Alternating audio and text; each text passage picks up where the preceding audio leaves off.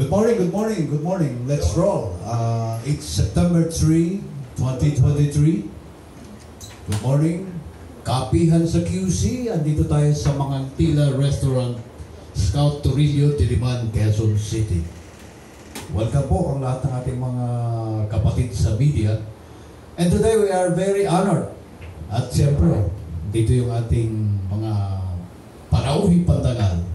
Welcome natin ang uh, official spokesperson ng Bureau of Immigration, Ms. Dana Sandoval. Magandang umaga po. Good morning. Good morning po, sir. Maulan na umaga po sa lahat po ng mga kaibigan natin dito sa media who are attending um, this kapihan. Salamat po sa pagpunta dito despite the uh, horrible rains.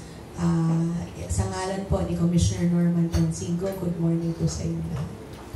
Alright, uh, waiting po tayo for the arrival of our second honored guest, si uh, Chairman George Erwin Garcia ng Commission on Elections. Meantime, uh, let's start. Uh, hindi pa Q&A. Ma'am Dana, uh, kumusta ang BI ngayon? Uh, pasado na ba sa budget deliberations sa upper and lower house? Um, nakasalang pa po sa Senado ang uh, ating budget. Um, I have uh, yet to confirm po yung schedules natin for the Senate. But we're hoping po na uh, ma-approve po ang requested natin na budget which will really be used po para doon sa mga modernization projects of the Bureau, particularly in procuring the additional electronic gates. Uh, may direction kayo uh, towards uh, digitalization, full digitalization of operation. Paano po yun? Um, particularly po sa mga paliparan natin, that's really the target of um, this administration. Modernization po talaga. So, uh, apart from the law, yung atin, uh, kasi we have the 82-year-old law, uh, sobrang tanda po nung Yeah. batas natin and it's really not applicable um, to modern times.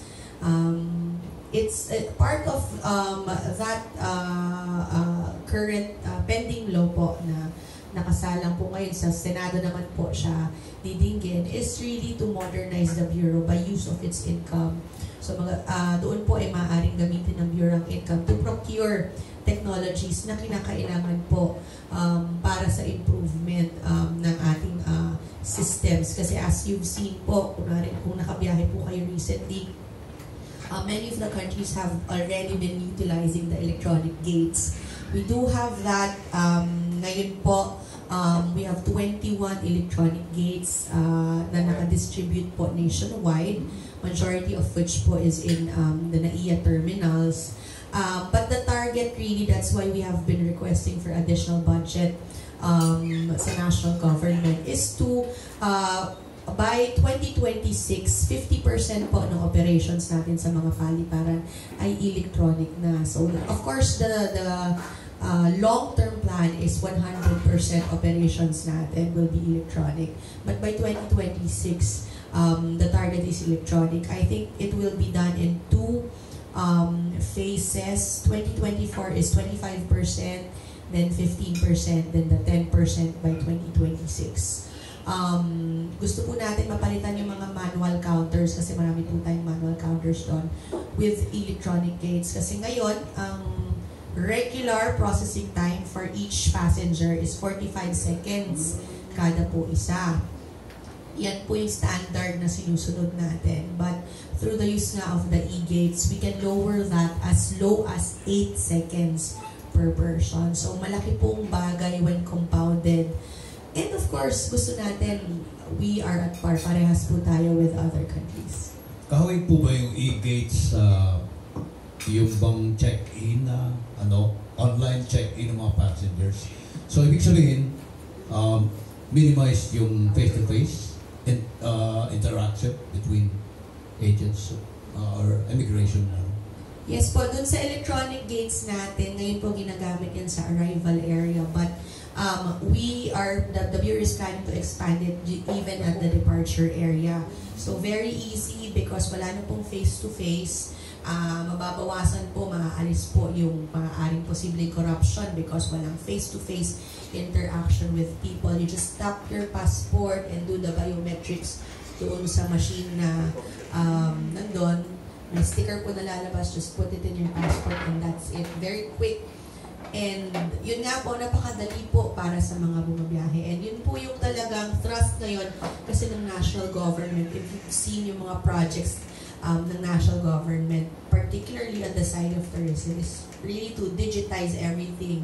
May e-travel, may e-visa, may online uh, visa applications, um, online um, uh, tourist visa extension. So yun po talaga yung thrust ng national government. And we at the Bureau po follows that um, uh, kumbaga goal by modernizing our systems as well.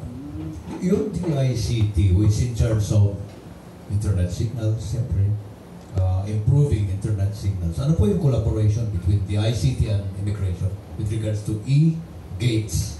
Uh, very close po yung coordination natin with DICT before natin, before tayo makapag-implement ng ating um, uh, I forgot ko ano yung tawag doon, but the the systems plan of the Bureau, um, parang long, uh, midterm systems plan ng Bureau, it is uh, submitted to the DICT for review and approval para makita if it is aligned with the um, thrusts of the national government.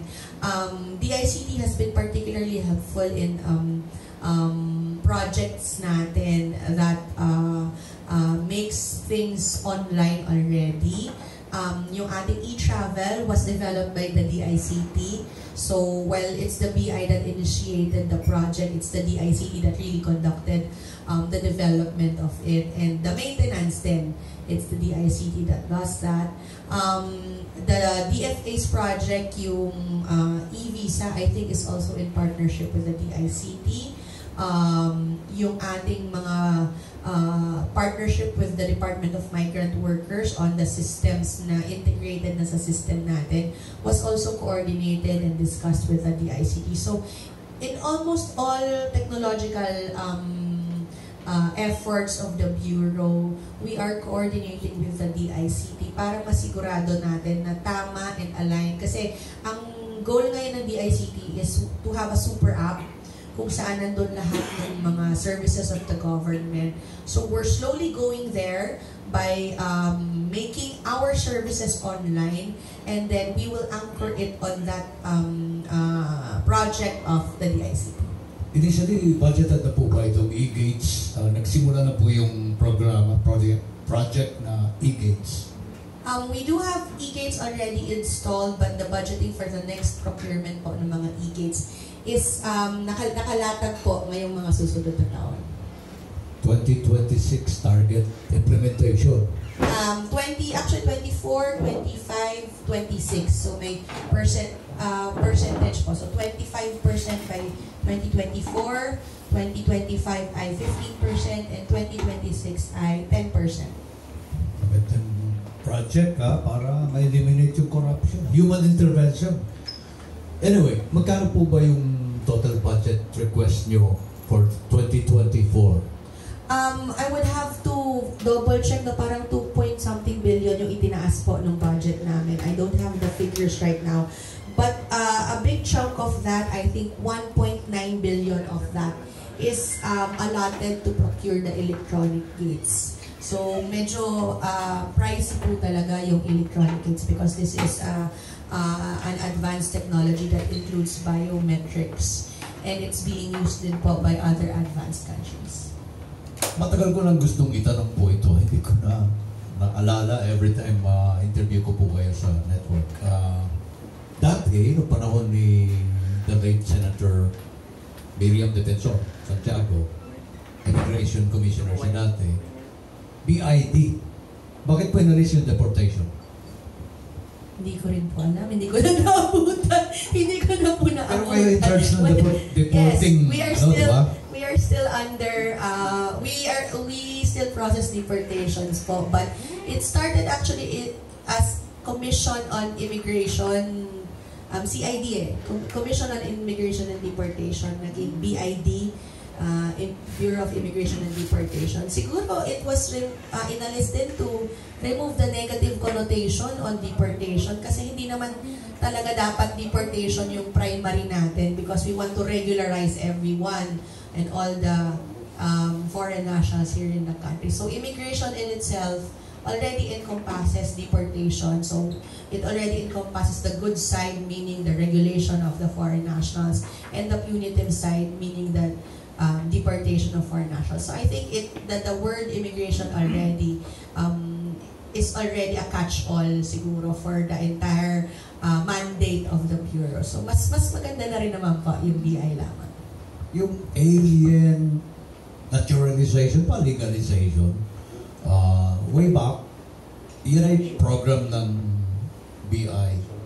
Uh, kumusta po yun? Uh, in relation to uh, yung sinasabi po ninyong uh, extension of visa, uh, alien legalization ng araw, malakas kumita yun eh. Di ba nagpapayad yung mga alien to to be naturalized or legalized? Um, meron po dati um, yung RA 7919, yun yung parang uh, um, I forgot the appropriate term, but parang pardon siya for foreign nationals who have violated. But that was within a specific period um, way back, so wala na po siya.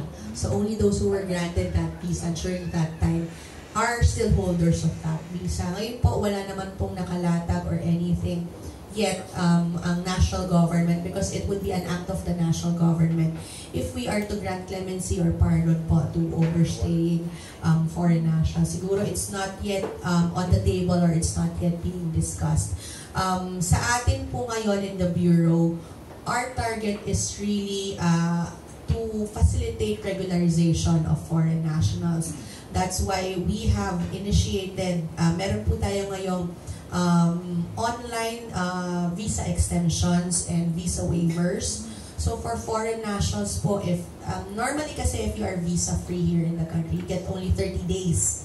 So example, may Amerikano dadating dito, may jowa na Filipino, one, will be staying here for 30 days, but na-inlove siya sa kanyang jowa at sa kagandahan po. Gusto nilang mag-Siargao, gusto nilang mag-Boracay. And um, the foreign national wants to extend. Um, before, they would have to go to an immigration office na malapit sa kanila, fall in line, file the necessary paperwork, etc. But ngayon po, they can just go to our website, they can just apply while um, lying there in the beach and watching the sunset with, their loved ones. They can apply online already, the receipt and the extension will be sent to their um, email addresses. So it's really facilitative in a way that we want these foreign nationals to come here in the Philippines legally and to stay here legally. Kasi yan din po ang um, gusto ng Department of Tourism and um, national government is to boost tourism in the country. Uh, slump talaga yung turismo natin sa Pilipinas nitong mga nakaraang taon in the past 2-3 years because of the pandemic and uh, I think earlier lang this year tayo nagbukas ng ating um, borders really for everyone, for all foreign nationals. So we are trying um, talaga na mahabol yung figures natin pre-pandemic kasi pataas po yung arrivals natin noon. I think pumalo na tayo sa 17 million arrivals kung hindi po ako nagkakamali noong 2019. And bumagsak po yan um, for 2020, 2021, even 2022, napakababa pa po. So through these initiatives, um, we are, uh, ito yung pinakaambag natin to the national government to attract um, these foreign nationals.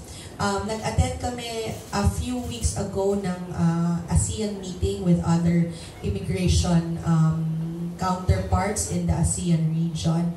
And isa yan talaga sa mga concerns, yung post-pandemic tourism. And nakita namin ang dami nila mga projects to attract and invite um, tourists. So yun ang gusto din natin na gawin. Um, apart from the tourism side, we are also planning to expand that online application to those who would be applying for other types of visas. Um, kasi yung turista lamang yun, pero there are other foreign nationals here doing other types of activities like studying, working, um, living here permanently. So it was announced na rin um, by the commissioner that's part of the things that um, the Bureau is planning to launch within the year um, to have the online applications for other types of visas uh, for the convenience of the public. Yung pong Philippine Retirement Authority, under po ba ng PI o tourism? It's under tourism po. It's a separate government agency. I think there's um it, it's it's a good thing sir no na natanong ninyo kasi it's a misconception that it's just the BI that's giving uh that's issuing visas to foreign nationals. Um while that's the ideal, of course in other countries that it's only their immigration agency that's um, issuing visas. Um, but in the Philippines, because we have different laws um, concerning like um, economic zones and other um, entities that may be able to um, issue visas. It's not just the BI. Outside the country, it's the Department of Foreign Affairs that issues visas.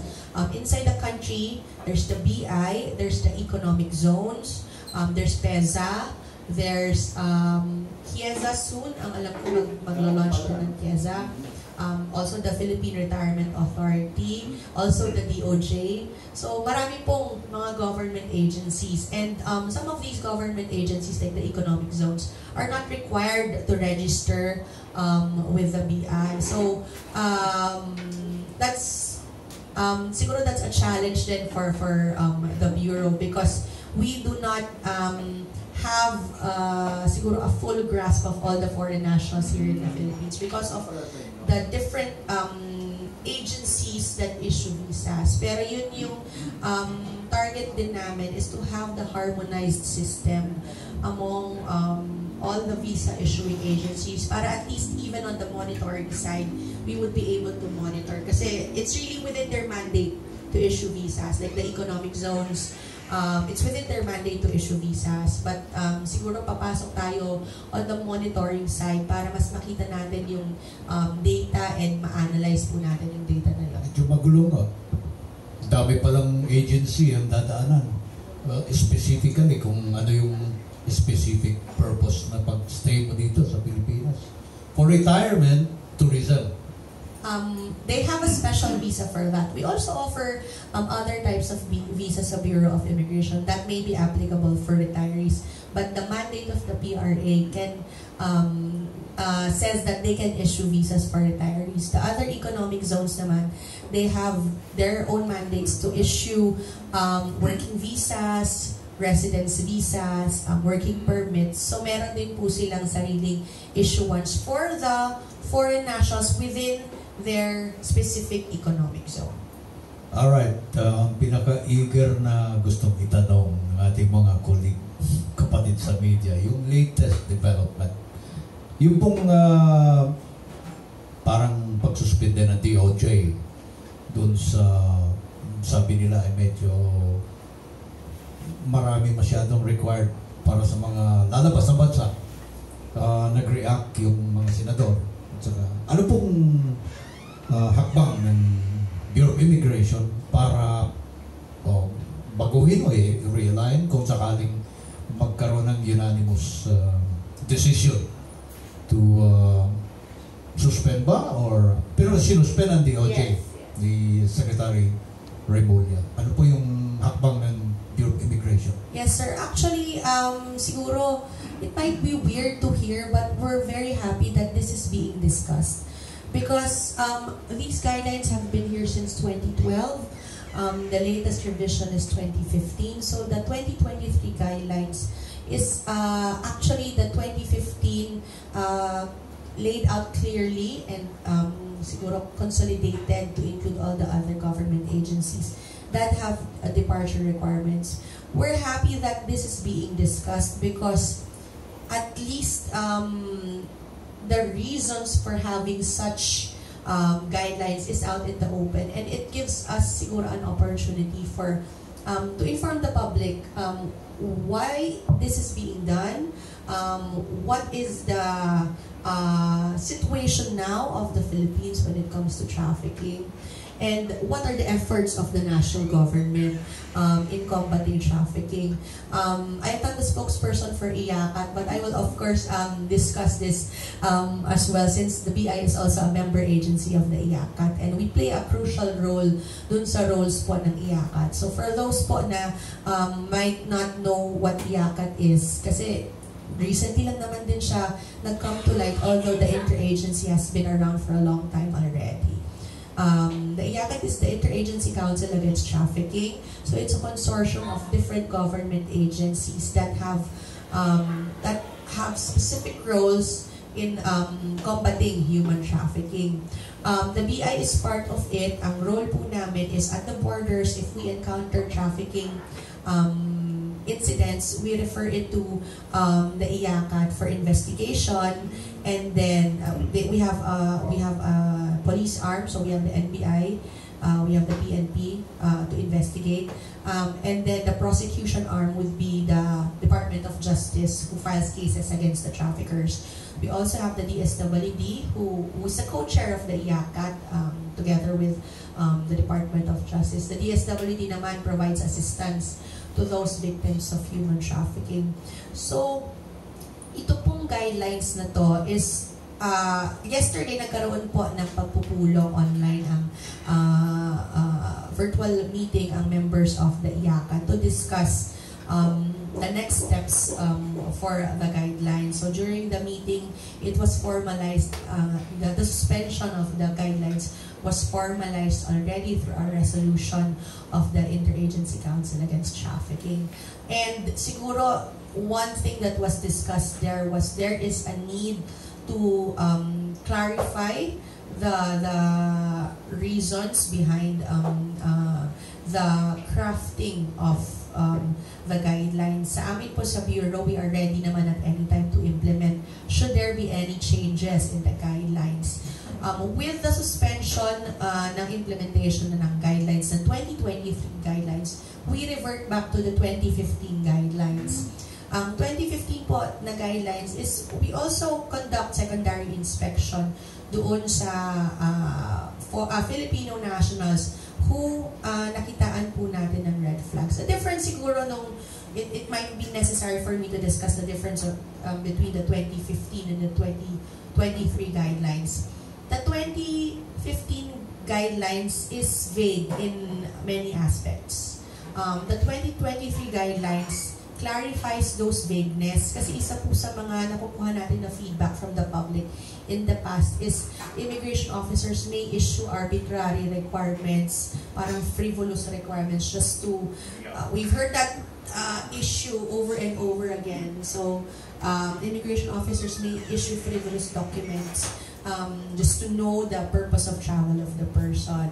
But through the 2023 guidelines, inalis po yun, uh, yung, yung uh, sa uh, arbitrariness ng decisions ng ating immigration officers. There's a list, the specific lists, list of um, requirements that immigration officers may look at at yun lamang pong list na yun ang maaaring tingnan ng ating mga immigration officers if and only if a person undergoes secondary inspection. Secondary inspection po happens when uh, a person's purpose of travel or the documentation na pinapakita niya ay hindi nagtutugma yung kanyang statement at yung kanyang documentation ay hindi nagtutugma. Example, um, nais ko pong magtrabaho abroad, gusto ko pong magpunta sa Dubai, pero ako ay, I'll just say that I'm going to Singapore to have a vacation there.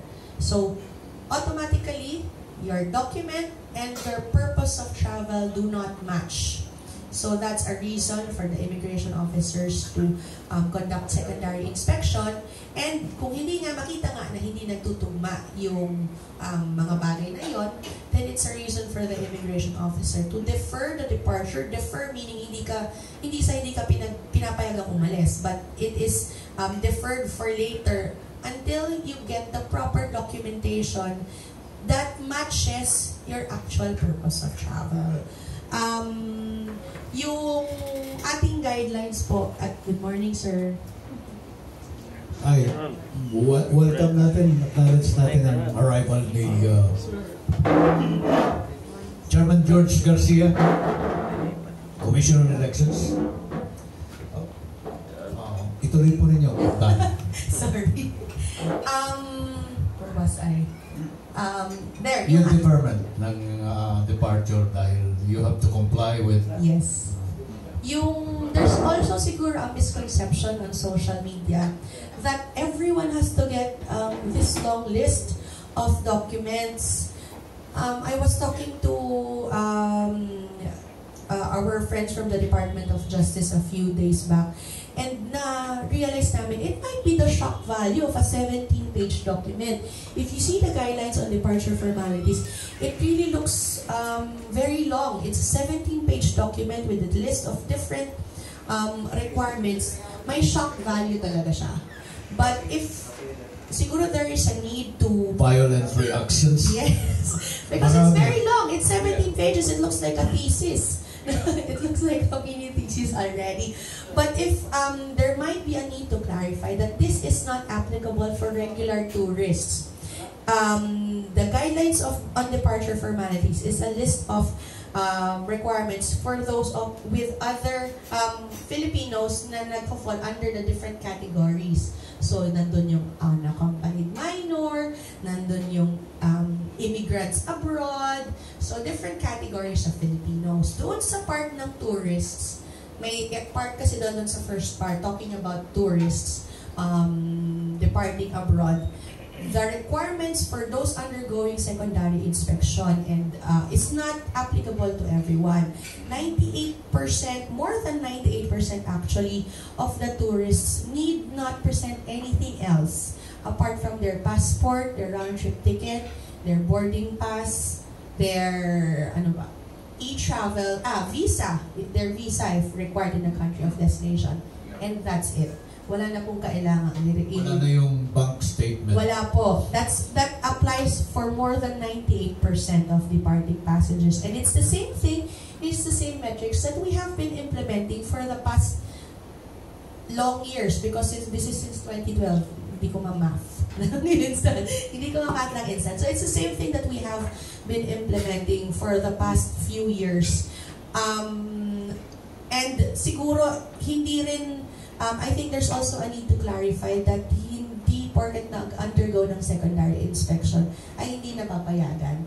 A small, only a small percentage, it's 0.5% of the 3.5 million departing Filipinos are not allowed or um, defer departure because nga, yung na-mention ko kanina, either a mismatch on their documents and their actual purpose of travel, um, presentation of fake documents or misrepresentation, or halimbawa, they might be seen as uh, may nakitang elements of human trafficking and illegal recruitment, which in turn would um, would, would require us to uh, to refer the person, the victim, to the IACAT for investigation and filing of cases against the recruiter. Gano'ng katagal po yung suspension? Mayroong bang timeline ang iyakat? Um, so far po, wala pa pong timelines. I think there, um, one thing that the IACAT is planning is to also have a massive information campaign about it. Um, also to discuss it with um, all the uh, IACAT member agencies on how uh, to go about in the next steps if there is a need to um, refine the requirements or um, uh, reframe uh, the, the documents um, to better reflect um, the actions of the national government against trafficking. Alright. Magkape ka muna, Ms. Dana. Yes. At uh, baling natin yung discussion sa barangay and SK elections. Uh, dito ang ating uh, chairman. Good morning, chairman. George Erwin Garcia. Uh, pakibukas. Yun. Magandang magandang umaga, Sir Angel. Magandang umaga sa inyong lahat. At uh, pasensya na, lakas ng ulan. Galing sa meeting. Napaka-busy po ninyo kasi. Eh, um, anytime, uh, uh, rolling na po ha. Kumusta po yung paghahanda ng COMELEC? Tapos na para sa uh, October 30 Barangay and SK elections. Uh, okay na po lahat yung ating mga balota, yung ating lahat ng 91, 92 million na balota ay tapos na at the same time yung mga subject ng reprinting tapos na rin po. Ang kulang na lamang natin ay yung ating ipiprint na balota para sa automated election. Automated po kasi ang ating bar- ang ating barangay SK sa Dasmariñas, Cavite at dito sa District 6 ng Quezon City. Kung kaya naman Ah, kung kaya naman uh, kinakailangan mag-print tayo dyan at kinakailangan i-prepare natin yung tinatawag na ballot face ng mga balota na yan. Doon naman sa ating uh, overall assessment sa prison order ng ating bansa, base sa report ng PNP at saka AFP, okay, maayos. But of course, meron silang 27 na isasabit sa atin na mga listahan ng mga probinsya o munisipyo o syudad na under serious concern. Ika nga, titingnan natin mabuti kung dapat ilagay ang mga areas na yan sa um, sa tinatawag na comedy control. Meron ding areas katulad sa Bangsamoro at saka yung Negros, binabantayan natin mabuti yan base sa report ng um, ng ating pong PNP. Sa Lanao, meron tayong isa, dalawang bayan na binabantayan din. At syempre dito sa may bandang Northern Luzon, lagi namang meron din. Uh, yung listahan na yan, i-detalye natin sa darating na linggo uh, patapos ma-submit sa atin ng PNP. Sa next week din, magsisimula na tayo ng training ng ating mga electoral board members, mga guro na magsisilbi sa ating eleksyon sa darating na October 30. And uh, more or less, yung pong uh, nangyaring filing ng certificates of candidacy natapos kahapon sa ibang parte ng ating bansa. Subalit dito sa sa Ilocos ngayong araw na ito matatapos dahil nagsuspend nga sila ng pasok ng isang araw at sa Abra at NCR bukas matatapos yon dahil extend tayo ng dalawang araw. As of uh, noong isang araw, wala pa yung data kahapon, nakaka 1. 18 million na ang filers natin. And i-anticipate natin na abutin yan hanggang 1.4 to 1.5 million na magpa-file ng, ng uh, candidacy sa BSKE. At the same time, napansin natin, may mga lugar na mukhang hanggang ngayon o hanggang kahapon walang laban. Meaning, isang grupo lang ang nag-file ng candidacy. Madami, lalo na sa Mindanao, sa may areas ng Sulu, sa may areas ng Tawi-Tawi, madami mga hindi na naglalaban-laban. Madami rin na hindi nag-file. At walang nag-file na SK as of kahapon. May mga barangays na walang SK candidates. Hindi natin alam kung ha umabol kahapon ng hapon o baka dito sa NCR hahabol ngayong araw na But so far po, maayos lahat at nakakatuwa. Dahil uh, yung unang araw pa lang, ang dami nang nag-file ng kanilang certificates of candidacy. Holiday pa yun. Opo, sabi ko nga, blockbuster. Hindi namin inaasahan na ganun. Mabuti na lang, ang ginawa nating strategy, lumipat tayo, lalo na dito sa NCR, sa mga malls. Nandun sila sa malls dito sa Quezon City, sa Amoranto, malaki kumpara sa kung ang filing ng candidacy ay sa mga local Comelec natin. Mukhang ganyan na yung gagawin natin from now on pag magpa-file tayo ng COC. Mas maganda yung maluwag, mas maganda yung uh, maganda po yung makaya-aya yung kanilang pakiramdam. And at the same time, uh, meron po kasi tayong ginawang bagong strategy din. Nagkaroon po tayo ng uh, uh, tinitingnan namin mabuti yung mga nagpapal ng candidacy, may screening process po tayo. Kapag ka more than 24 years of age, ang SK, hindi na po natin tinatanggap ang kanilang uh, uh, certificates of candidacy. Kapag ka naman hindi registered voter, whether SK or barangay, hindi na rin po namin tinatanggap ang kanilang certificates of candidacy. Pahihirapan pa namin ang sarili namin. Pagkatapos, iaasa pa yung mga yan. Ang ginagawa po kasi ng iba, kahit na disqualified, tumatakbo pa rin Katulad ng 2018, 7,000 ang disqualification cases na tinanggap ng COMELEC dahil lang sa more than 24 years of age. Alam naman nila na 24 lang age of, uh, years of age lang on election day. Eh may nagpapal 26, may nagpapal 25. So ngayon po, hindi ministerial duty namin na, na tumanggap ng kanilang certificates of candidacy. Kaya po medyo nagtatagal dahil tinitingnan pa namin sa record namin. Meron dyan, isang nahuli, nagpe-present siya ng, ito na yung birth uh, certificate niya, and therefore qualified siya sa 24. Kami pa yung lulukuhin sa ganon, samantalang may record po kami. Sila mismo nag-accomplish ng record nila ngayon, yung voters registration record, under oath. Tapos sasabihin nila, itong birthday nila, hindi pala yung, yung dati nilang nilagay. So kung ano yung sinabit nila, yun ang masusunod. Kasi, kasi po kinakailangan medyo this time, natuturo tayo ng leksyon. At pag nag-file ng candidacy bilang panghuli po, uh, Sir Angel, sila po ay considered ng kandidato. Natutuwa tayo. Simula pa nung uh, unang araw na nagpapapile tayo, walang fiesta atmosphere, wala may mga daladalang tambol kung ano mga maiingay dyan. At in all fairness, lahat sila sumusunod naman. Yung mga naglalagay ng tarpaulin, sinabi natin, at mga mati materials, wala kaming pakialam. Uulitin ko po, wala kaming pakialam kung may nakalagay dyan na vote for o wala. Ang sabi ng batas, directly or indirectly, campaigning yon. So wag na po tayo maglokohan. Wag na po yung style-style na kunyari may picture na malaki, tapos walang nakalagay na vote for hindi daw kandidato, eh nag-file ng candidacy. Pag hindi talaga nila tinanggal yan, at may, kaya nga po ang aming pakiusap, yung mga magkakalaban, sila ang magpapayag, magre-report, bantayan na lang po yan. Kaya natutuwa kami pag ikot-ikot natin, wala masyado nakalagay eh. Siguro nga natatakot din dahil nababantayan ng mga magkakalaban. Yung mga may na-monitor ako dito sa Quezon City, nag-distribute ng ah, pangpansit. Kulang pa, wala pang pansahog na binigay man lang. Markado kan markado na po siya sa atin yan. At the same time, hindi po natin palalagpasin yan. Pinapatay, sintayin nyo lang po matapos kami sa filing ng candidacy. Iisa-isahin namin yung lahat ng mga campaign materials na naglipanad ng kahit sa private property. Huwag na huwag nilang sasabihin private property ang hindi pwedeng paalis. Tama, hindi pwedeng alisin na may-ari ng bahay ay yung kandidato. Susulatan namin kayo and you will have to remove all of these campaign materials in three days. Kasi po para naman po nasigurado lang na lahat sumusunod sa patakaran. Hindi po yung hindi po yung para nagiging inutil ang COMELEC at ibang ahensya ng pamahalaan dahil hindi matanggal yung mga materials. Mula po ngayon, we will have to stand and to stand firm on what the law provides. Yan po yung dapat napapairali natin sa kasalukuyan. So more or less po, kung napansin nyo, maayos naman po lahat, pati po yung filing ng COC natin. Paano pa yung ginawa ninyo, Chairman? Uh, maganda yung information dissemination. Lahat sila nag-comply halos eh. Na alam nila, pag upon filing of COC, start na yung campaign period. Siguro po, ang sinasabi nila, parang nananakot ang public, hindi po. Pinapatupad lang po natin ng tama. Kung dati po, noong mga panahon dati nakakaligtas, huwag na po naman porket nakakaligtas dati, eh ngayon eh makakaligtas pa rin. Hindi na po tama yan. Sinasabi natin may prema- premature campaigning. Ang premature campaigning election offense po yung 1 to 6 years imprisonment. Kung sinasabi nilang mali ang COMELEC, o di sige po, didalhin nyo kami sa Supreme Court later, pero kakasuhan muna namin kayo.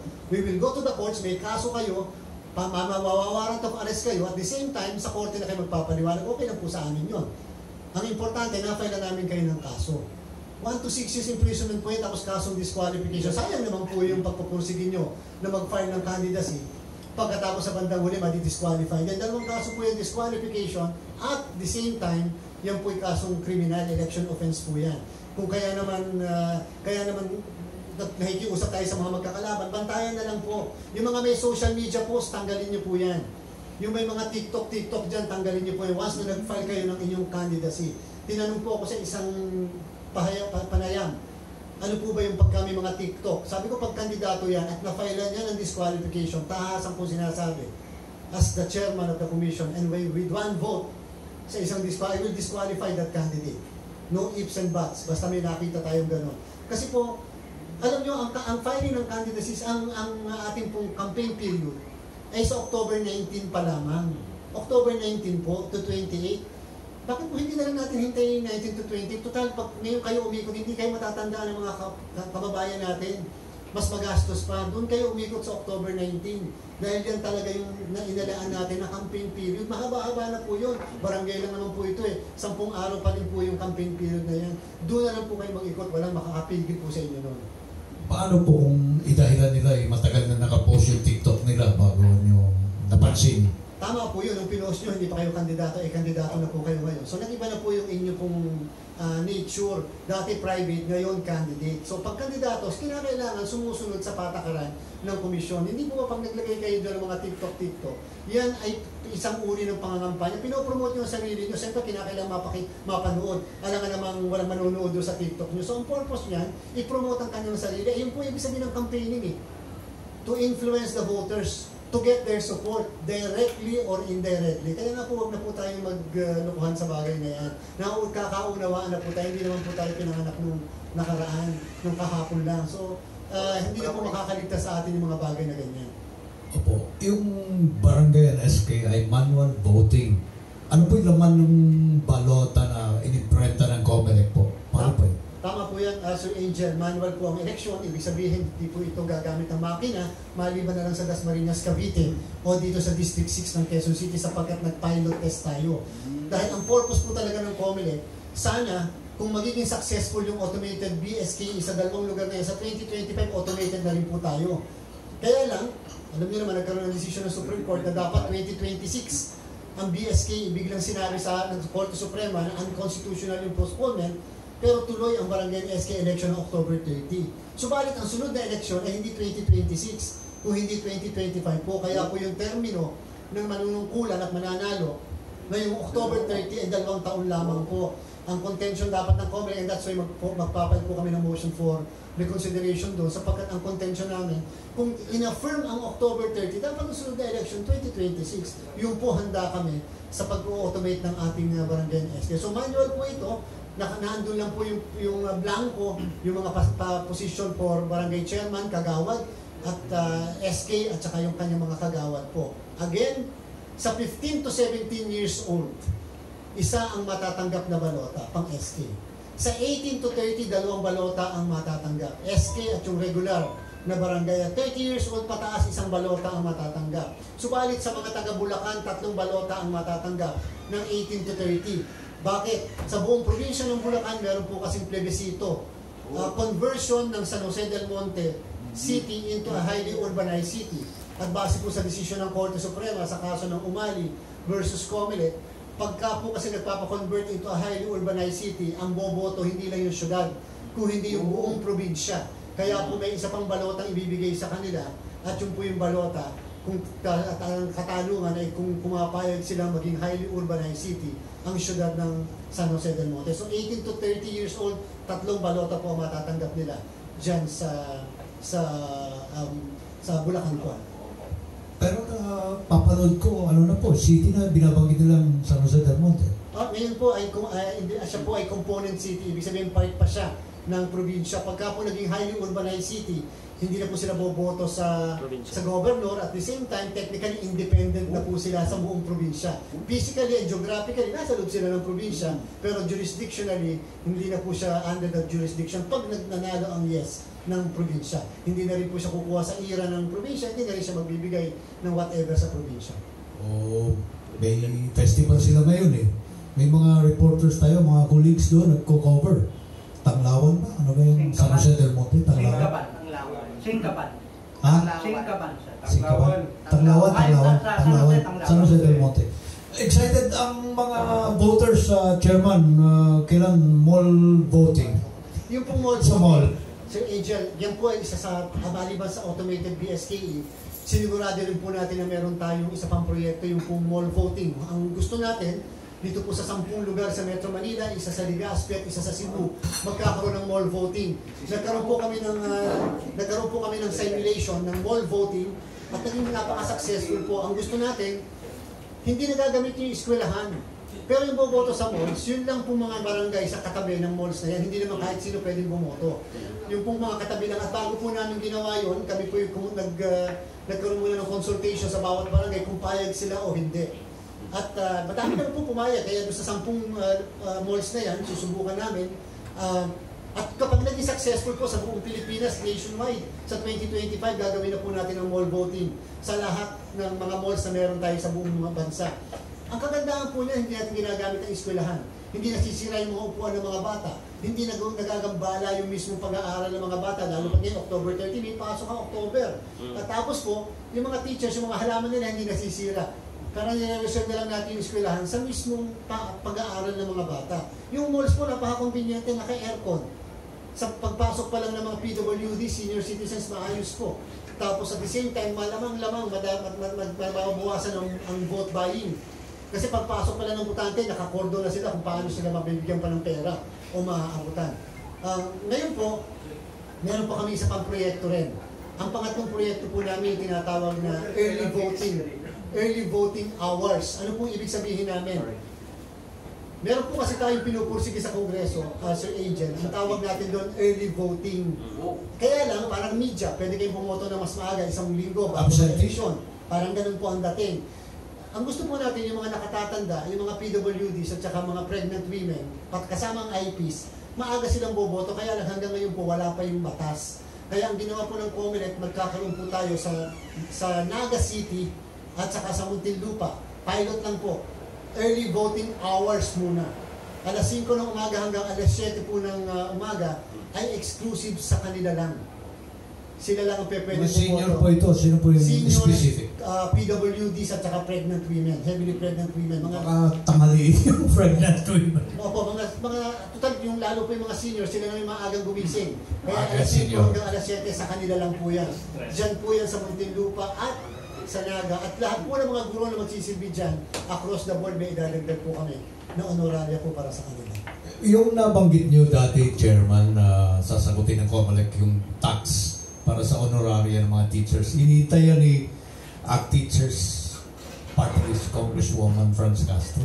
Nung tayo po humarap sa Kongreso, sinabi po natin, ang talaga po talagang tinatanggap ng mga guro pagka barangay and SK elections ay 6,000 at 5,000 lang. 6,000 sa chairman, 5,000 ang mga miyembro. Hindi po tayo pumayag doon. Ang ginawa po natin para sa darating na BSKE, base sa mga natitipid ng COMELEC sa procurement, yung konti pa naming savings, ginawa po namin 10,000 at 9,000.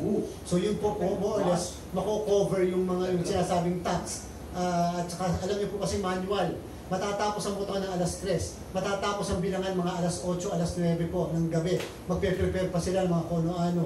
So more or less alas 11 ng gabi po matatapos ang mga guro. Eh may canvassing pa na mangyayari hanggang madaling araw po yun. So para naman po kahit paano, maliit po yung amount na yun pero kahit paano, at least po kumpara sa 6,000 at 5,000. Kaya po yung mga magsisilbi sa Naga, sa ah, sa Naga City, sa Muntinlupa at sa Bulacan, sa plebiscito, additional 2,000 po yun, so 12,000 po lahat sila. At saka 11 12,000? at saka 11,000. Para naman po kahit paano. At yun po na-explain natin kina Congresswoman uh, Franz Castro. At uh, sa ating palagay naman na-appreciate nila yung efforts ng police. Gusto po yung coordination ng teachers as barangay uh, PEI. Ay, opo, uh, tayo po nakikipag-unayan sa ating kagalang-galang na Vice Presidente. Um, um, na, na- tinalaga po siyang isang undersecretary ng overall in charge para si BSKE. Ang sadya po medyo nakikipag-coordinate kaming mabuti, lalo na sa opisina po ng DepEd, ng Secretary ng DepEd, ay yung paggamit ng mga classrooms dito po sa dating mga ENBO barangays ng Makati. At uh, kinakailangan masigurado kasi namin na yung mga botante na doon pa rin boboto kahit sila ay supposedly taga-tagig na, ay kinakailangan patuloy pa rin namin magamit yung mga eskwelahan na yan. Yung mabuti na lang po nag-issue ang ating kagalang-galang na uh, Vice Presidente ng circular na pagpatungkol sa kahit anong desisyon sa eskwelahan na yan, lahat ng eskwelahan sa EMBO Barangays, ang DepEd ang may final say. So at least po na-solve yung aming problem. Kasi po baka kasi dumating sa point, hindi namin magamit yung eskwelahan at hindi makaboto yung mga mga botante natin. Lately kasi may barricade yata yung mga taga Makati, no po? Binabawalan makapa, maka-access yung taga-tagi para mamigay ng kanilang mga mga bags, gano'n. Uh, politika ba yun? Uh, ano sa palagay niyo? Chairman. Naintindihan po natin, uh, Sir Angel, yung kalagayan. Wala naman po nakaka-expect na magkakaroon ng ganyan desisyon ang Korte Suprema. Kaya lang po sa part po ng Commission Election, dapat po eh, sana maunawaan ng parehas na partido at lahat ng partido do na we are just performing a constitutional duty. Constitutional duty po yun eh. Constitutional body po kasi ang Commission Election, independent at that. And therefore, base po sa kung ano yung batas at ano yung desisyon ng Supreme Court, yung po ipapatupad po namin. Maaari pong uh, contrary yan sa posisyon ng isang sa mga partido, but what can we do? That is what the Supreme Court said and that is now the law of the land. Alright, buksan na natin yung Q&A para masaya. Oh, Mike. The mic mo. Okay, cool. Hello ma'am, Noel Talakay po from PTV. Ma'am, uh, sa BI po muna, parami akong tanong dyan. Ay ano lang, doon lang, doon sa ano nyo po, sa uh, electronic gate po, kailan po siya magso-soft opening? Tapos, uh, gano'n po ito kahalaga sa sa mga travelers natin at uh, um, hindi ba dito hindi ba hindi ba mas lalong delikado dito yung human trafficking kasi ma-fake nila yung ilang ah, mga ah, gadget ito di ba mga gagamitin cellphone so Ano? ah, ano sige, sige. so paano po paano po ba ang process itong ah, electronic gate na ito ma'am thank you po Thank you. Um, bali yung electronic gates natin, um, para siyang uh, gate talaga siya na kayang pumasok ng tao. And then you tap your passport in it, and then you do biometric. So it actually lessens yung possibility of using fake documents because um, the document in itself is already being scanned by the system, which has the capacity to detect if something was um, at face no if something was uh, altered or if it's fake kasi hindi siya babasahin ng pinaka-system natin. And of course, it catches the um, the biometric information of the person. Ang target natin by 2026, 50% of the operations natin um, at the airports have been converted to electronic gates. So, converted meaning they, ngayon po kasi they are manual uh, manual processing. So, tinatatakan yung passport ng immigration officer uh, each for each person. But through the electronic gates, they don't have to have face-to-face interactions anymore. Hindi po siya magiging, um, I don't think it might be a problem in the case of human trafficking or illegal recruitment because it actually gives our immigration officers an, a bigger opportunity to monitor those who might seem more vulnerable. Kasi ngayon, natatali ang ating immigration officer to the, to the process of stamping each document. Um, mas maraming time ang mabibigay dun sa monitoring natin ng mga uh, dumadating at umaalis na pasahero. And of course, malaki rin yung maitutulong niya doon sa pagpapabilis ng pila. If you look at the figures, 45 seconds versus 8 seconds, ang laki ng difference. Ang average time ngayon ng use, ang lowest possible time of use ng electronic gates kung sobrang bihasa ka na is 8 seconds. But the average time right now, because people are still trying out, actually pag, pagdating natin sa airport, tinitingnan namin yung gates namin. Walang masyadong gumagamit even if our people are uh, requesting them to fall in line to the e-gate. Siguro, of course, it's a new technology and um, people still have a little bit of apprehension. But if it's already in 50% of our operations and I don't think uh, magkakaroon pa ng apprehension yung mga kababayan natin. Um, so the average time right now is around 10, 9 or 10 seconds per person but it can uh, the fastest one in uh, the fastest possible uh, uh, processing time is 8 seconds versus 45 seconds napakalaking difference nun when it comes to pila um, operations natin ngayon sa airport um, has been improved a lot already. Um, one thing is because the MIA uh, expanded our immigration area, so we're thankful. Uh, kasi kung mapapansin nyo, uh, particularly sa IA Terminal 3, makipot yung ating immigration area as compared to other countries. Sa other air countries, ang lalawak talaga ng immigration area. Sa atin medyo makipot, mahaba pero uh, a little bit makipot dito. So we have requested uh, uh, are, are uh, changes to that. And further, this will also further be expanded. Um, within the year, uh, the, the Bureau is set to launch the green lanes. Um, yung green lanes natin are special lanes for um, OFWs, um, ACRI card holders, so ito yung mga uh, residents dito sa bansa, may long-term excuse me, visas dito sa bansa and frequent travelers. So ito yung mga less vulnerable uh, uh, sector ng mga travelers. So, so there's uh, less assessment siguro needed for them. So they will be in a green lane, a faster lane uh, to allow um, ease of travel for uh, everyone. So I think malaki yung magiging effect din yan doon sa pagpapaluwag lalo ng ating immigration areas. Once Uh, hello, good morning. CNN. Yeah, hi, good morning po, uh, Sian from CNN. Ayun. Um, last week po, nag, si Senator Escudero, nag, nag, may sinabi po siyang info na um, based on BI records, out of 32,404 na na-offload, may 472 lang na victim na confirmed na victims ng human trafficking. So, ask ko lang po, bakit po ganun kababa? I mean, yung ratio compared doon sa mga um, sa mga na-offload, isn't that like a sign na parang hindi pa po perfected or needs improvement po yung system ng BI para po ma-screen kung sino po talaga yung victim ng human trafficking? Yes, thank you. I think there really is a need to clarify that. Um, because like like I mentioned earlier during the first part of, of our talk, um, ang hindi natin napapayagan, meaning deferred departure, are those na hindi tugma yung documents at saka uh, purpose of travel and yung may nakita ang elements of human trafficking and illegal recruitment. Hindi lahat doon sa mga hindi uh, na-defer ang departure have elements of human trafficking and illegal recruitment. It could be that I as an individual have decided to go out of the country without the proper documentation, wala namang nag-recruit sa akin illegally or wala naman akong na-encounter na um, human trafficker. But that was my decision. But the thing is, the documentation still do not match.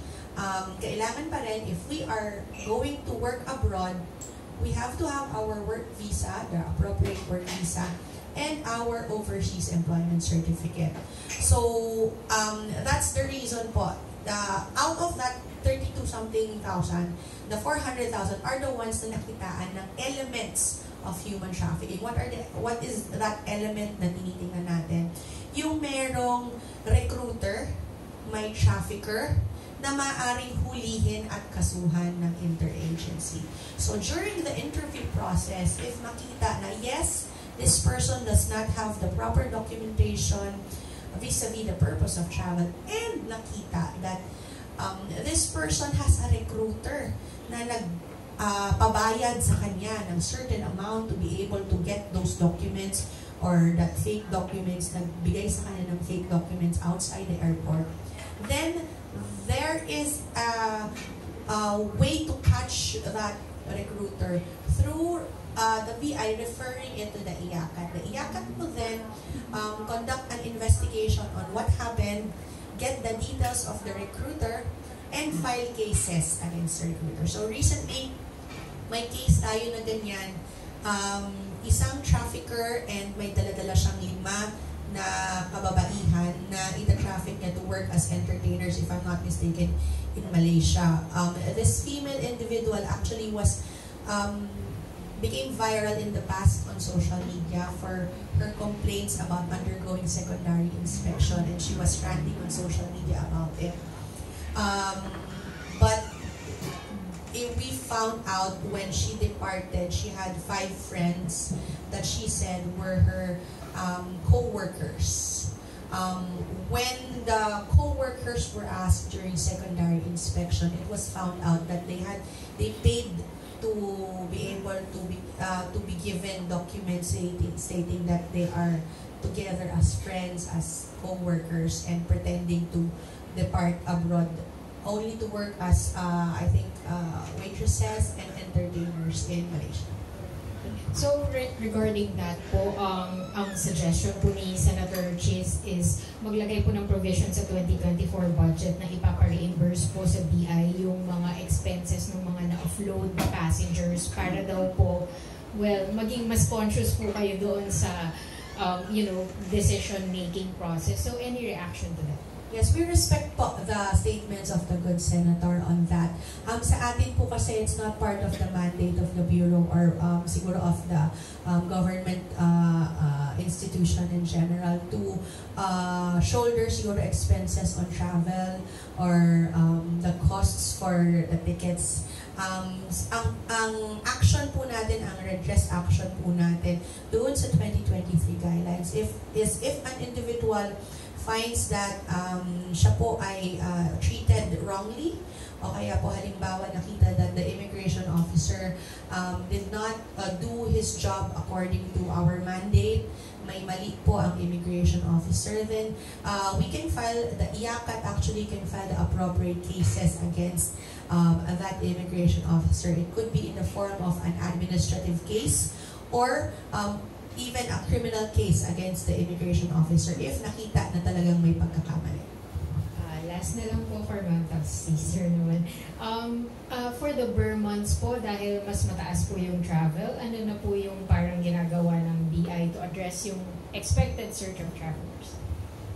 Actually, ngayong um, September, medyo lull period pa ito. Med, mas tumataas yan ng mga bandang end of, of October, uh, October, November, pumapalo siya ng December. Um, sa data natin, we're almost nearing the pre-pandemic figures, which is really good. And we're really to, we're really happy to see that there are a lot of um, Filipinos and foreign nationals flying in and out of the country already um, after we have opened our borders. So, uh, like I mentioned earlier, um, na-expand yung ating immigration area, particularly in the EA 3, which is where the bulk of um, passengers um, pass through. Um, nagkakaroon din kami ng uh, green lanes for um, yun yung na-mention ko, um, I-card holders, frequent travelers, and overseas Filipino workers. Ngayon po, meron din kaming dineploy na um, rap, rapid response team. I'm not, I, I don't remember if that's the correct term, but it's a rapid response team that um, is immediately deployed kapag ka kinakailangan po natin ng additional immigration officers. Automatic din po sa atin na kapag peak season, bawal ang leave. Um, bawal po muna mamasyal, mag-leave ang ating mga immigration officers as their sacrifice na rin po for the peak season. Kasi kumbaga yan talaga ang main event namin kapag peak season, Christmas season. Um, so bawal po muna mag-leave. And then, um, uh, meron din po tayo mga mobile counters that um, have been deployed and are being placed. Parang kung sa toll booth, di ba? Pagka, uh, ano to, pag Holy Week, the regular toll booths are there, but there are parang uh, mobile booths at the back. Ganon din po yung concept natin. We have deployed that um, in our major airports to uh, uh, facilitate the speedy processing. Hello, there po. Um, we have deployed our uh, uh, mobile counters to facilitate the speedy processing po kung kinakailangan during peak season. Thank you. Okay. Kay chairman naman po, uh, sa yung nabanggit niyo po na may mga areas na hindi nag uh, may mga walang nag-file na candidates. Ano po yung mangyayari doon after ng election? Sino po yung mag-fill ng mga positions? Ay, sorry. Ito na lang siguro.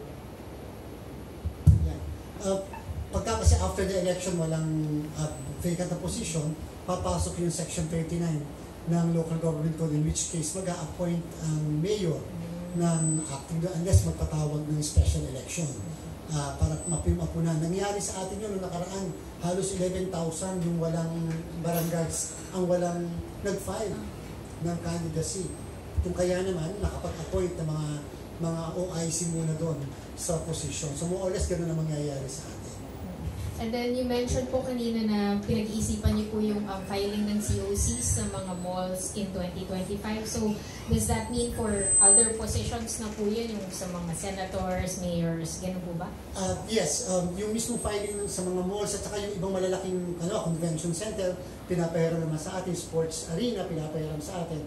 Gagamitin na natin yun pagka ang uh, midterm election. Doon sa mga senators halimbawa, yung parang traditional na yung lugar, katulad halimbawa doon sa may malapit sa sa isang hotel, sa may PICC, doon tayo nagpa-file para mas paluwag. At the same time, para secured yung filing ng candidacy. So yung for the local posts po yung mas tinitingnan natin for the malls po and other... Yes, kasi sobrang hirap pagka sa local, sa opisina ng local comelec namin. Kasi maliliit, tapos siksikan. We cannot afford na ganun uh, inconvenience ng ating mga filers. So kinakailangan yung maluwag-luwag man lang. Sa malls, napakaganda, napakaayos, nakita namin. Ngayon, subok na subok natin. Sa, halimbawa, dito sa Quezon City, sa Amoranto, ang ganda nung nangyari sa filing. Maaaring napakadami talaga. Uh, blockbuster na lalo yung unang araw at pangalawang araw. Pero just the same, uh, naging maayos yung pagpa-file ng candidates. And then last na lang po, um, any updates po doon sa preparation sa special election sa Negros Oriental? Yes, uh, uh, una muna ba, ba, una muna bago matapos ang buwan na to, ay i-announce ng COMELEC ano ang gagawin namin sa Negros Oriental. Uh, kasi nga mayroong proposals doon na i-postpone ang barangay SK elections doon ng kahit isang buwan. So i-announce namin kung ano yung ating gagawin. Sapagkat kung ano gagawin ng COMELEC para sa BSKE, more or less yun na rin ang gagawin ng COMELEC patungkol sa December 9 na special election dyan sa Negros. Minarapat namin na ilapit masyado, ilapit yung mismo uh, special election sa BSKE para yung lahat ng puwersa, yung lahat ng mga prepa, uh, mga tao natin na ando na lang, uh, na ando na rin. At the same time, uh, mahirap kasi sa next year, ipagpaliban pa sa next year, yung pagkakaroon ng special election. Kasi po dalawang election ang ihahanda namin o dalawang elections ang pinaghahandaan namin sa 2025 yung midterm na automated at kung ano man yung uh, December 2020 whether uh, automated or manual elections Oh, ayun ka. Good morning po. Chairman, nabanggit mo yung dun sa special election. Hindi, nakikita ba natin yung possibility na, let's say for example, uh, i-adjust din yung eh, barangay election at pagsabayin na lang isang bagsak with the special election para isang preparation? Sa, sa kalagayan ng lugar na yon, assessment-wise and administrative and operation-wise, alam naman natin, baka napakainit lalo pag ang, kong, ang congressional.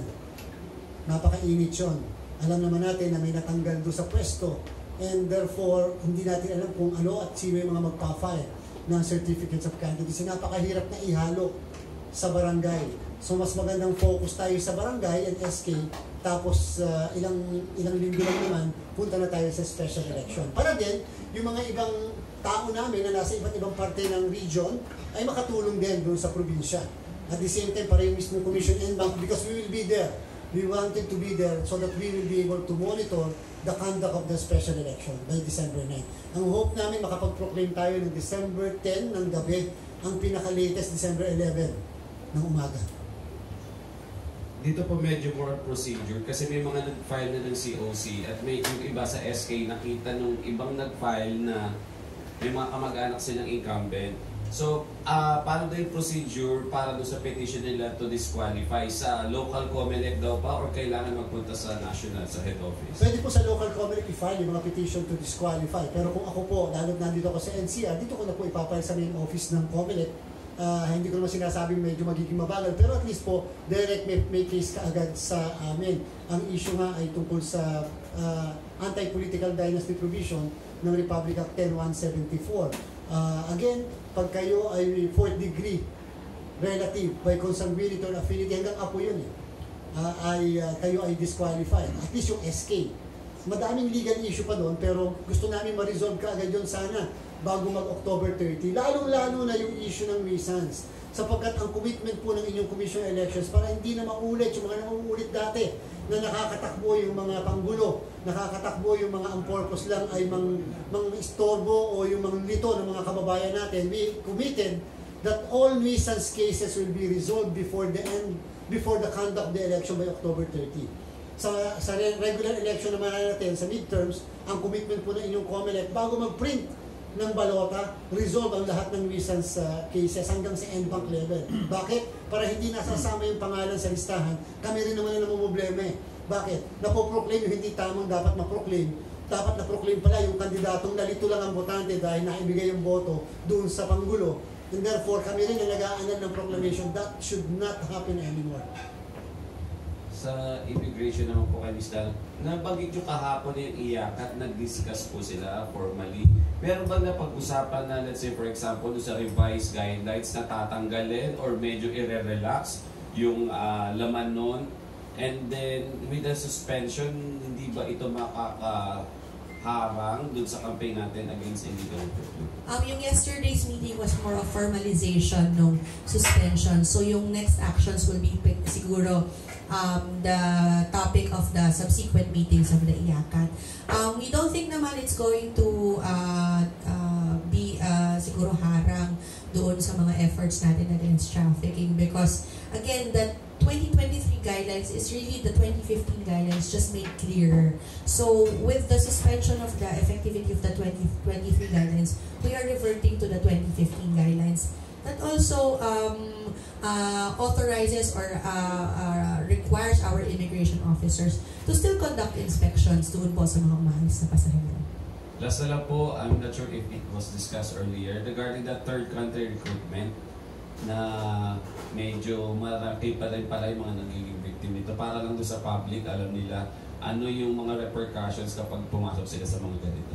Yes, um, naglabas po tayo ng info about dyan sa third-party recruitment. Although it's not already within the scope of the Bureau of Immigration. Pero kami kasi yung unang nakakakita kapag nare-repatriate sila. And we feel that there might be a need to inform the public of such um, schemes or modus para maiwasan po. Uh, in cases wherein there's third-party recruitment, normally aalis po dito ang passenger as an OFW bound for a specific country. Say for example po dun sa recent um, na mga nabiktima, there were uh, OFWs in Hong Kong and Jordan.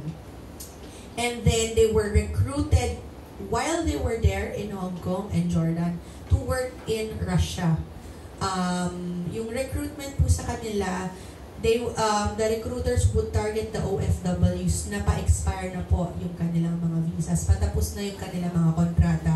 Of course, yung mga kababayan natin, gusto lang naman din magtrabaho. So they just want to be able to uh, extend their uh, work abroad. So they were transported to Russia but doon po um, after a while hinuli na po sila ng mga immigration authorities doon because of not having um, because of overstaying essentially. They were overstaying already. So their recruiter really did not process anything. Um, hindi po nila nakuha yung compensation that was promised to them. It's actually the same um, one of the same uh, the same modus doon sa mga cryptocurrency scam. Kasi apart po doon sa mga nire-recruit dito sa Pilipinas we have seen doon sa mga na-repatriate that uh, a good number of them came from Dubai ang tinatarget naman nung recruiters, yun din mga pa-expire na yung visa sa Dubai. So from Dubai, they would transport them to Thailand. Sabi, huwag na kayo umuwi ng Pilipinas, go directly to Thailand. Um, and then, dadalhin sila sa Cambodia, sa Myanmar.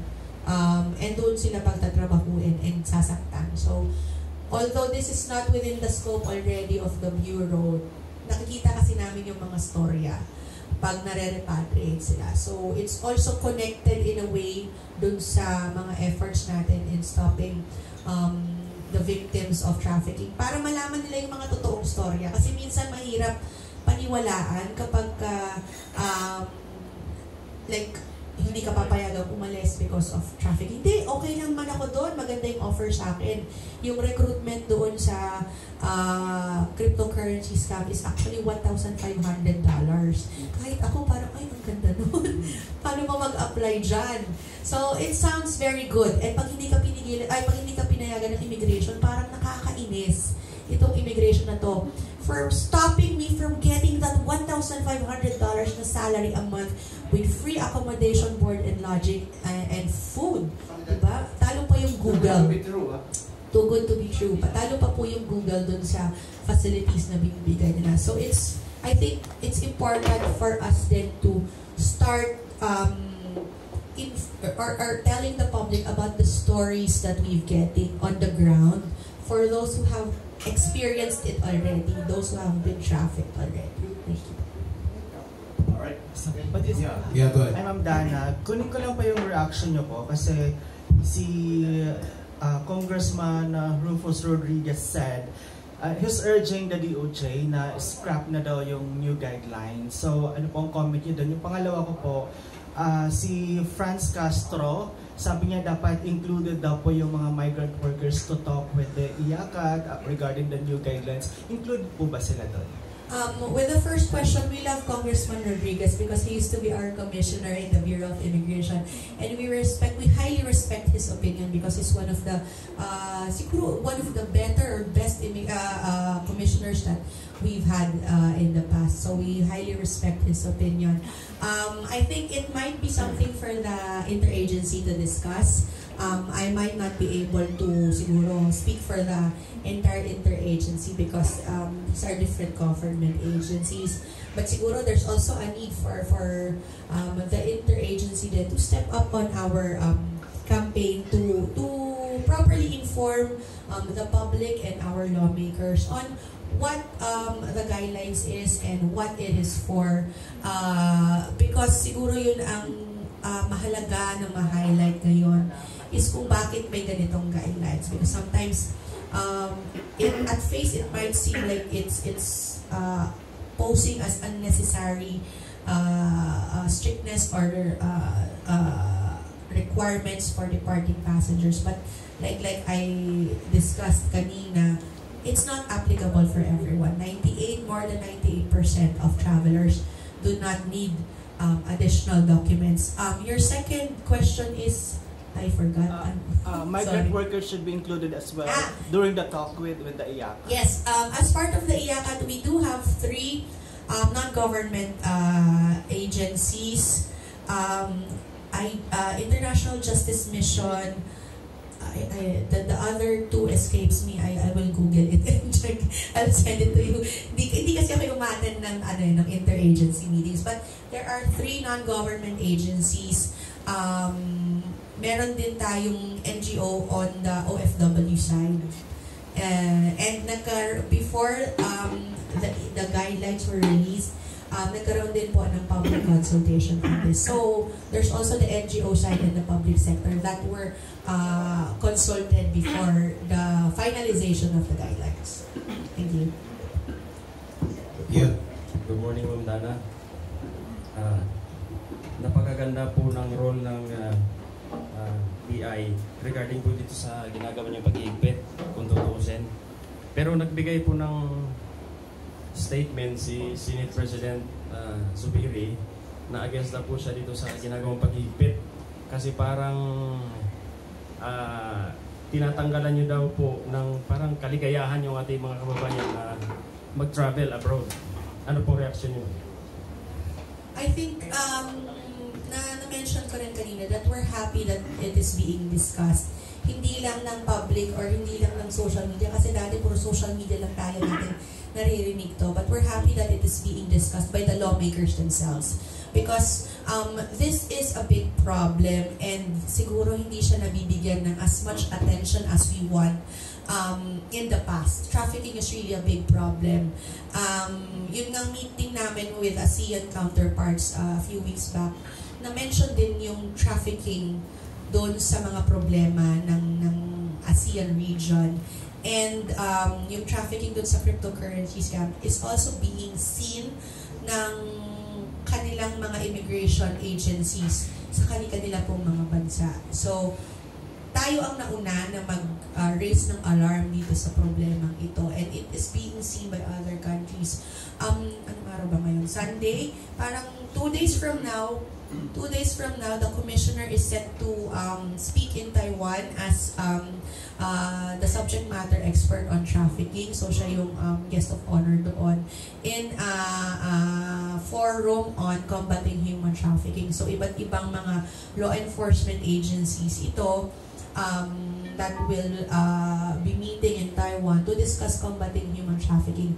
And isa yung Pilipinas sa model um, countries in combating um, trafficking. There is one country, hindi ko na lang siguro muna i-mention, that are requesting for our guidelines so they may emulate this, they may study it and possibly emulate it in their country because they are experiencing the same issues um, doon po sa bansa nila. So, uh, dito sa issue ng trafficking, eh, issue ng combating trafficking, we are uh, siguro one of the first in the region because we are the first to get the Tier 1 status from the U.S. State Department's Trafficking in Persons report. Uh, ka-level natin yung US, yung UK, yung Canada, dun sa sa level na yon. So, I think um, the national government in itself is doing something and working hard on on preventing trafficking. And we're really happy that while of course talagang part ng discussion yan, yung disagreements on, on the content, disagreements on how it is done. But we are happy that it is being discussed because there is a need to discuss it.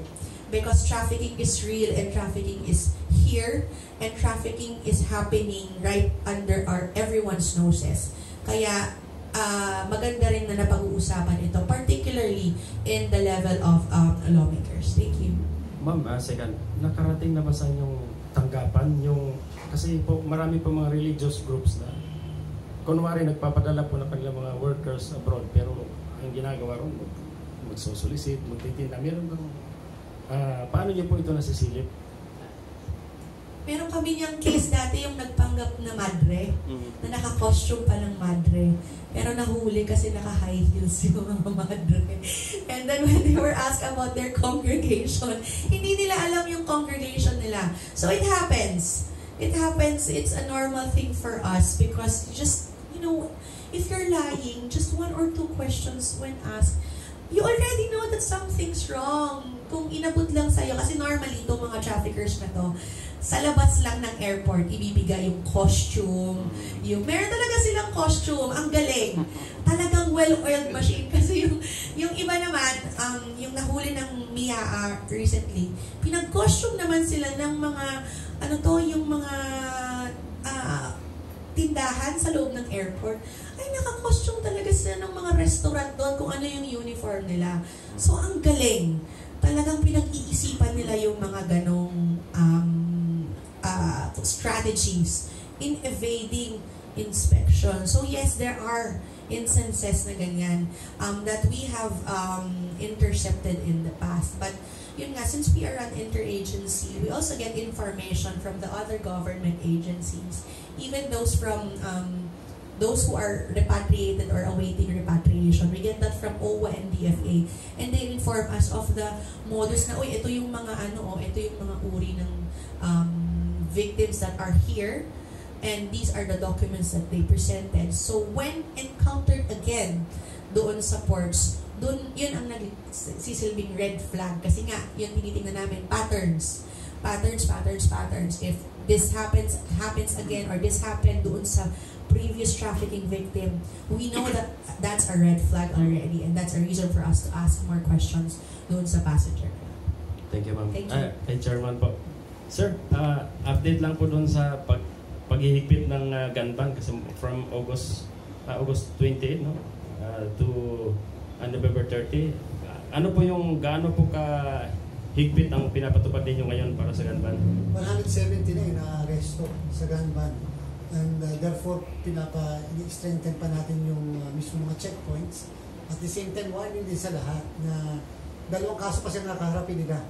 Gun ban violation, election offense din, tapos eh, illegal possession of firearms pa. Kala kasi nung iba yung mga dalang baril na makakali, makakaligtas sila. Makakaligtas sila maaari sa illegal possession, pero sa gun ban, so long as may dala kang baril, kahit na may, may lisensya ka, suspended ang lisensya mo. May permit to carry ka, suspended ang permit to carry mo. Therefore, the fact na may baril ka, that is by itself punishable. Dapat nila maunawaan yun. Para din yung bounce check, the fact na nag-issue ka ng isang check na tumalbog, kahit anong kadahilanan mo, punishable. Ganyan din po yung gun ban. So, nakaka 170 na, at naniniwala, nung unang araw nga ng pagpapatupad, lima kaagad ang naaresto sa NCR ng, ng NCRPO. So ganun pinapatupad ng ating pulis at uh, kung napansin niyo naman sa panahong ito, wala tayong narinig na reklamo lalo na sa mga checkpoint. Talagang nag-limited ang mga ang, ang PNP doon sa checkpoint sa visual search lang.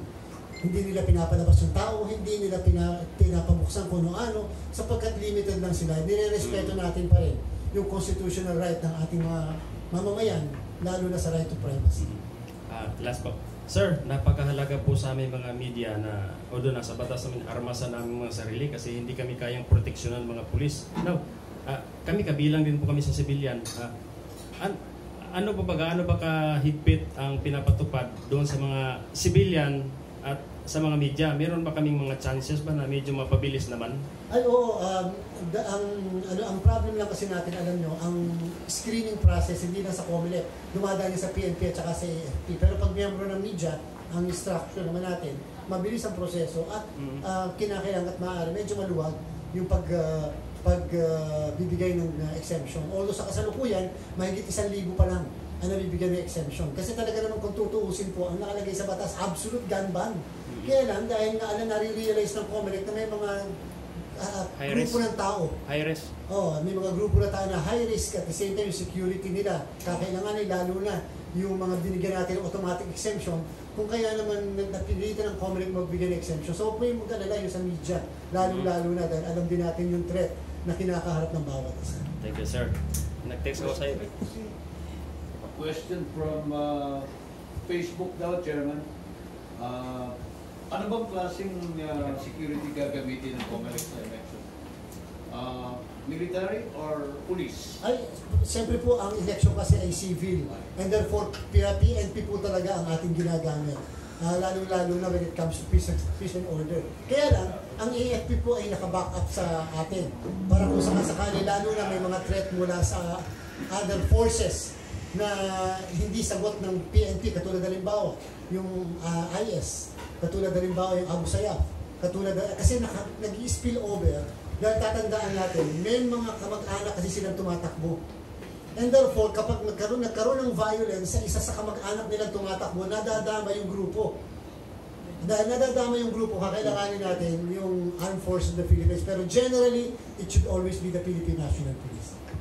Alright. Sino pa? Sino pang tatanong. meron akong announcement, Yes. uh, Sir. Chairman, Chairman. Kahapon po, na-publish sa, sa lahat ng dyaryo at sa mga susunod na araw, na-publish na po yung aming mas pinaigting na laban tungkol sa pamimigay, yung kontrabigay. So madami po madami pong presumptions doon at yan po ay buying. natin patungkol sa vote buying.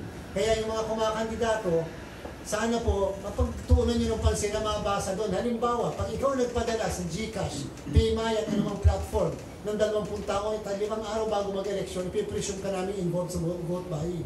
Uh, bahala ka na mag-explain kung, ba, kung paano yan. At the same time, may nakita ka namin na halimbawa may dala ng indelible ink. Isang araw bago may election, pre-presume ka namin involved sa vote buying. Madami kami mga presumptions na nilagay doon. At tatandaan nyo po, nakalagay din doon, yung mismong committee namin can motu proprio, number one, investigate, number two, file case, and number three, file information in court. So binigyan po namin ng authority yan. Kaya po yung mga mamimili ng boto at nagbebenta ng boto, sana naman medyo natakot-takot na tayo doon sa... Nag-disqualify na